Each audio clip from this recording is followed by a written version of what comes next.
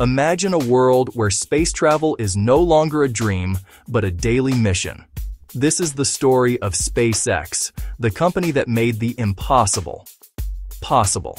In 2002, Elon Musk founded SpaceX with one bold goal, to make space travel affordable and to one day colonize Mars. But success didn't come easy. The company faced failure after failure. Falcon 1, their first rocket, failed three times before finally reaching orbit in 2008, a moment that saved the company from collapse.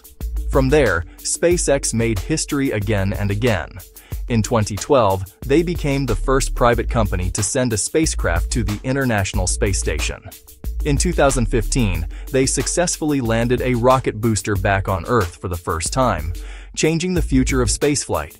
In 2020, SpaceX launched NASA astronauts aboard the Crew Dragon capsule, marking the return of human spaceflight from U.S. soil. And now with Starship, they aim for the Moon and Mars. SpaceX didn't just build rockets, they built a new era of exploration.